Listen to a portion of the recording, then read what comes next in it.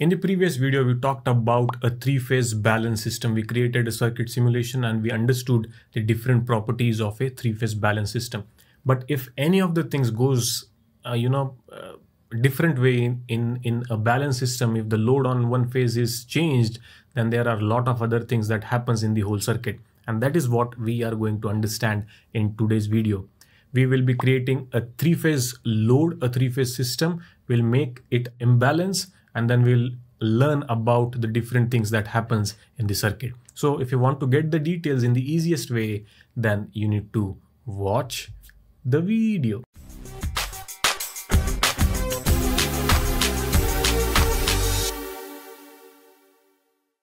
So again, the circuit simulation that I'm using for this purpose is EveryCircuit. It is available for Android and for you can also access it from your computers right so here what we have taken is we have taken three uh, different sources. So each of 50 hertz if you see the properties of that we have taken amplitude is 400 volts uh, frequency 50 hertz and the phase displacement is 120 degree. The same properties are applied for all the three phases. And all these three phases we have connected in a star manner. You can see a star point uh, that we have connected. Now uh, to keep it simple what i am going to do is i am going to add a three a resistor as a resistive load but this is you can put it for any type of load inductive capacitive or the combination of all the three. For simplicity i'm just keeping it resistive. So let me add it all the three here. Now uh, it is important for us to measure the current flowing through all the three phases. So that is the reason why we are going to also add ammeters in series with the each phase. Again important to remember ammeter we connect in series with the in the circuit right?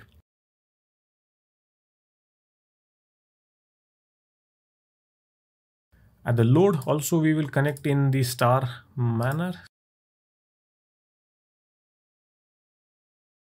So here is the ground point. Now for us it is important to check if there is a current flowing in the neutral or not and for that we are going to add a ammeter in series with the neutral as well. So here it is. Uh, the only thing remains is the voltmeter. Of course, that also we will need to check the voltage uh, waveform of each phase. So let me add voltmeter across each load. So voltmeter, how do we connect it? Yes, we connected in parallel.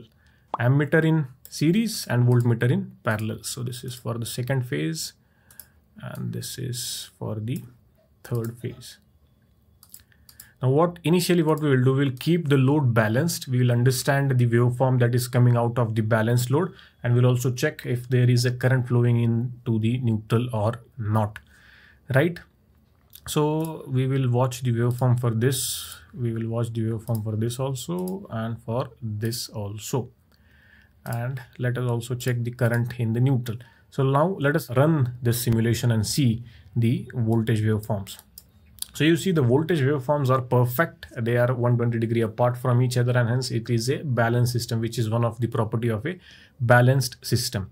Now you check the red point here which is our ammeter. It shows the reading as 0 ampere. That means there is no current flowing in the, into the system which is again the second property of the balance load. Now again, if you go into a little bit deeper and check the current flowing through each of the ammeter, you will notice the current is also equal in all the three phases, right? So that is balanced system. Now let us do some interesting things here. So what we are going to do is we are going to disturb the load that we have here. Okay, so maybe from 1 we'll put it 500 ohms we'll keep it 1 and this will change to maybe let's say 3 kilo ohms. Now definitely we have disturbed the load. Now this is no more a balanced system because the load is changed. Now since the load is changed the current flowing into the system should also change and there should be a current in the neutral. Let us see if that is correct or not. So i'm going to start so first thing what you can notice is that the waveforms are disturbed definitely, right? And there is a current in the neutral also. So you see the red dot, which is our ammeter. RMS value is 411 milliampere. So the current has started flowing into the neutral. Now definitely the amount of current that flows into the neutral is very small compared to the phase wire. It depends upon the imbalance in the system. And that is the reason why you will see, you have heard this uh, uh, word 3.5 core cable, right? So that 0.5 indicates the wire, dedicated wire provided for neutral purpose. Now why it is called as 0.5? Because the size of the core is half compared to the phase wire and hence it is 3.5 core. So that is in balanced system uh, current is flowing into the neutral. Now what we will do, we'll also check all our ammeters and we will see if the current flowing into that is different, which should be definitely the case, but let us check it. So you see here the RMS value of one phase is 565 milliampere, the second is 283 milliampere, the third is 94.2 milliampere and the red one indicates the current flowing into the neutral wire. You notice the waveform uh, very bad, completely disturbed and in such situation a neutral is must.